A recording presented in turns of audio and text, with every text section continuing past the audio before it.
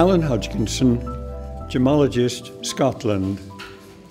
I've had the privilege of teaching gemology for over 50 years, and the privilege is to share information that you've gained with others. That's really the secret here in Loughborough because, you know, we've 200 delegates this year, 200 attending, and the amount of experience here, not with just the lecturers, but in fact the delegates themselves, an enormous amount of experience. And you can sit with any of these delegates or lecturers and chat with them, raise queries with them, produce pieces of jewellery to ask them questions about.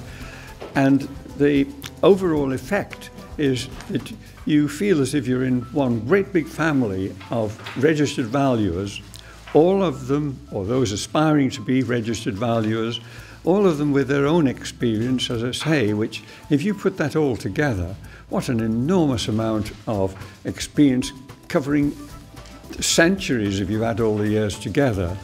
And it's here in Loughborough. Uh, this is the 25th year, a very special year, you know, the silver wedding, if you like, of the delegates with the Loughborough Conference. And over the years, I've seen it grow both in numbers, but also the spread of the lecturer expertise that is brought in um, is quite is quite exceptional. And you meet with personalities who are well known on, the, on, in the media, television, for instance.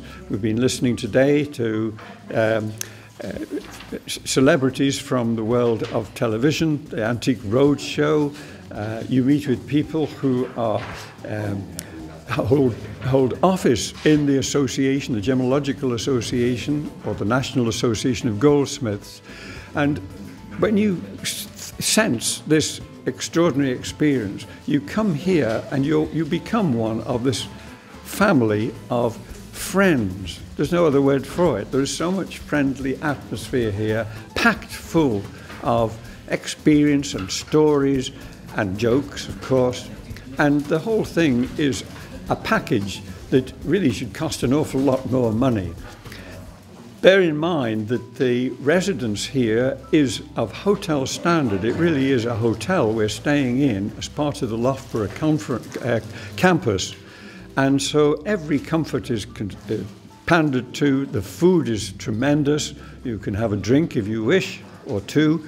But overall, it, it's a weekend not to be missed. And those of you who haven't had this experience, I would recommend you save up or uh, put it down to expenses, whatever, and come next year, 2013, which will be the 26th year of its existence, the Institute of Registered Valuers.